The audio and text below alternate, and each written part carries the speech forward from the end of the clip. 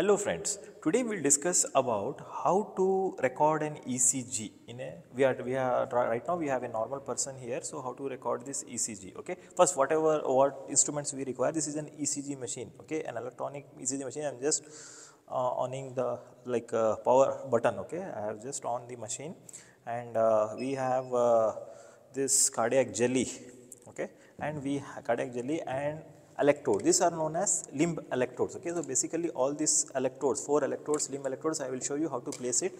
Right now, just concentrate here. These are the six chest leads. Okay, so all these are connected by the wire, and ultimately they are connected by this cord to this ECG machine. Right now, you can see this all this there is a straight line because we have not connected the limb leads. Once we connect the limb leads as well as the chest leads, we will get the graph okay. Now let us start it. So see there are even the color codings also but even there is a name written as R here. R indicates this right arm okay. So right arm means uh, we have to put it on the arm but uh, for the sake of convenience even we can place this electrode. Electrode means a wire with a metallic strip. This is an electrode okay.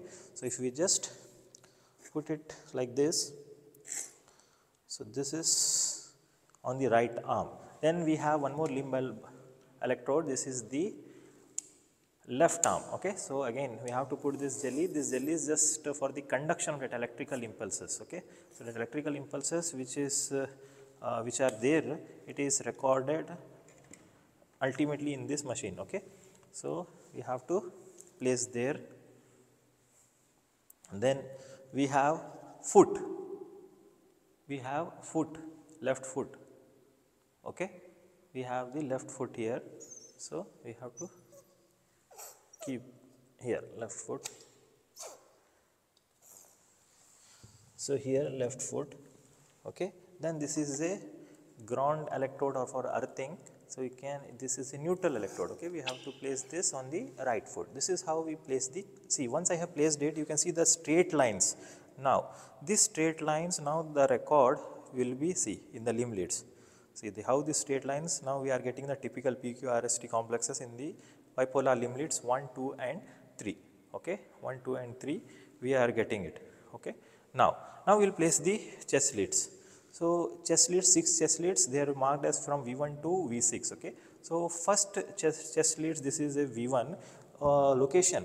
First we have to identify the suprasternal notch here and from the suprasternal notch just go down then on the sternum a ridge will be there that is known as sternal notch or angle of Louis. So, this will correspond to the second rib.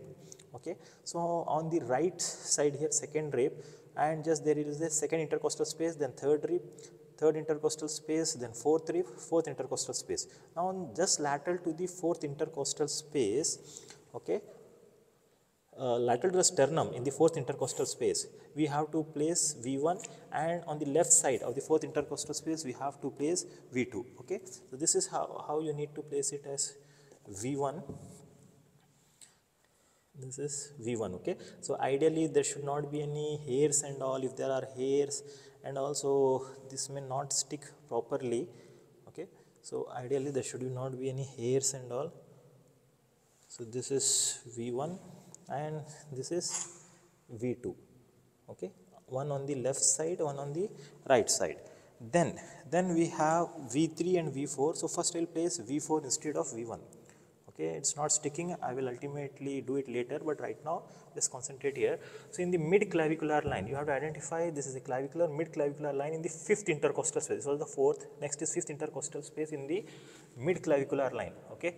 In the mid clavicular line in the fifth intercostal space you need to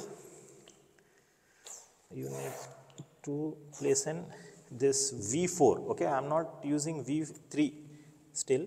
So this is the V4 then in between this V2 and V4 the, we have to place the V3 so V3 electrode will be in between this V1 and V2 okay? So V this is V3 so okay. So this is how you need to place it. So we have placed the four electrodes. Okay. We have placed the four electrodes. Now we'll place the v5 and v6 okay. So here see because of these hairs and all we are finding it difficult to place the things. Okay. I'll just uh, try it once again so this is the V3 in between V2 and V4 and this is the V1 on the fourth intercostal space on the lateral side. Now we have placed the fourth electrode. Now you have to identify, the anterior axillary line in the fifth intercostal space we have to place the V5 okay. So this is the V5 so we have to place here okay and finally V6 in the mid axillary line in the same fifth intercostal space.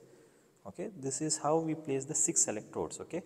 V1, V2, V3, V4, V5 and V6 and already we have placed the uh, electrodes on the limbs. Now the same thing is recorded here. Even you can see the heart rate, heart rate here uh, that is 77 right now. It will vary. Uh, sinus rhythm. Now we have to just uh, put the print button okay?